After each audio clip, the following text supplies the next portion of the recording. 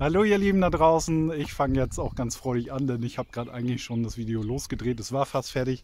Und dann habe ich gemerkt, dass äh, die Aufnahme nicht gedrückt war. Ich bin jetzt heute auf dem Sonntag in meinem Garten, ein ungeplantes Video, ihr habt ja gerade erst den Gartenrundgang am Freitag äh, ja, sehen können, für die, die da Interesse dran hatten. Und äh, ja, was mir aber danach noch bewusst wurde, dass die ein oder andere Aussaat noch fehlt, auch dass ihr da draußen mitkommt, vor allen Dingen die Anfänger. Gefühlt bin ich da eine Woche zu spät, aber zu spät gibt es eigentlich nicht, denn die Natur holt das dann doch irgendwie nach. Ja, und der Floh ist hier ganz fleißig. Ihr könnt sehen, wo wir bei waren. Auch jede Menge hier an, an Beikraut rausgeholt. Hier mal so ein kleiner Vorspoiler, mehr gibt es nicht.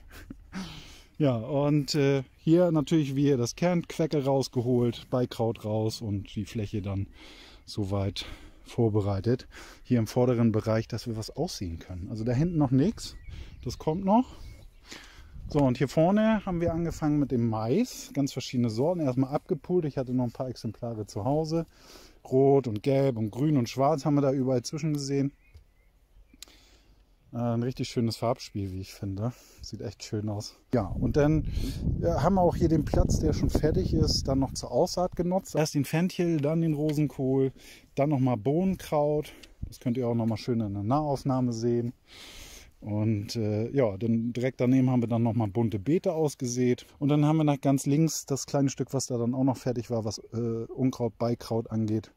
Ähm, ja, das haben wir dann noch für den Mais genutzt. Äh, übrigens auch roter Popcorn-Mais dazwischen. Ihr könnt hier auch noch mal sehen, das ganze Saatgut, was ich hier so ein bisschen bereitgelegt habe. Das, äh, das sind so Sachen, die ihr da verwenden könnt. Mhm.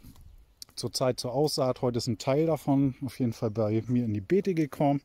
Bei uns darf ich ja schon irgendwie sagen,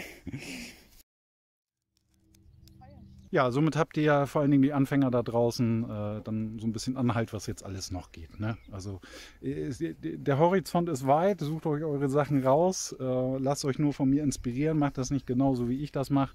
Einfach rumprobieren, eigenen Weg finden, das äh, liegt mir persönlich sehr am Herzen. So, und der Flow, der, der äh, bringt jetzt auch schon äh, Beikraut weg. Und somit kommen wir schon zum Ende dieses Videos. So fix kann es gehen. Denn bei uns wartet jetzt äh, schön Pause. Das bedeutet, ich werde mich verabschieden. Sag vielen Dank fürs Zusehen. Bis zum nächsten Mal. Tschüss, euer Lars und weg.